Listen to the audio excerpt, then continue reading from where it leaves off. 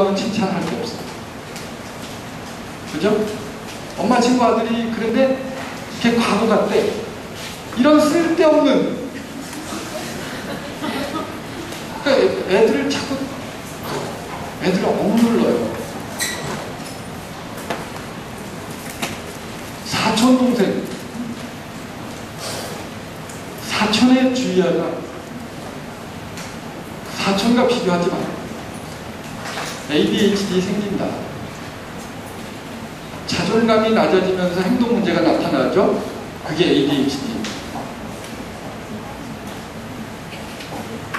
그러니까 ADHD는 내가 제가 보니까 ADHD는 누가 만들었어?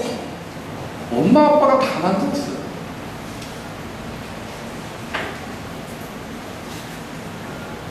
우리 우리 회사 암흑의 부장내 아- 아이들이 올해 뭐 외고 갔대.